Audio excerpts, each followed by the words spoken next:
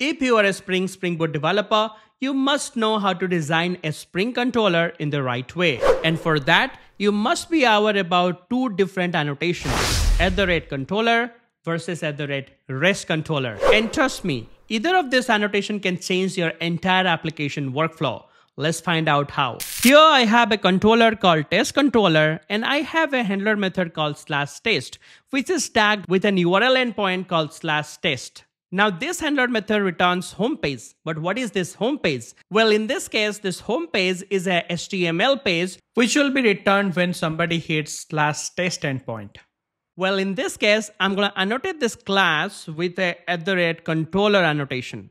As a result, whenever this method is going to return a string called homepage, a guy called view resolver will come into the picture and is going to resolve the view and will find where this home page is actually exists in my project class path. And the same page will be returned to the user. And the good news is, if you're using Spring Boot, you got a default view resolver available, so you got to do nothing. So let's type our endpoint with slash test and let's just hit this and there you go. There's our home page which is our HTML page. Now what about if I do not want a view to be returned? For an example, I'm returning a HTML page or a JSP page or a Thymeleaf page right over here. But I do not want that.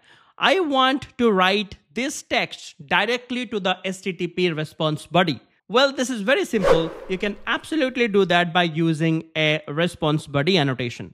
Now, Spring Boot will write directly this home page to your HTTP response body.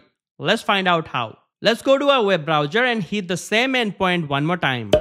And now we can see the text only is not the view or our HTML page. Now, if you got hundreds of methods inside your class, and you want the same effect, you can actually move this response body annotations to the class level. Or alternatively, you can actually replace this couple of annotation with one annotation called at the rate rest controller. Because the rest controller is a combination of response body and your controller annotation. Now to test this out, I will write some more text over here and I'll reload the same endpoint. And you can see your string is written right now to the response body. So if you're developing any API where you have to return a string or a JSON or an XML, better to go with the at the rate rest controller annotation. But I have a question for you. Here you are returning a string. What if if you want to return the same thing in JSON format? Then what changes that you have to do in this annotation?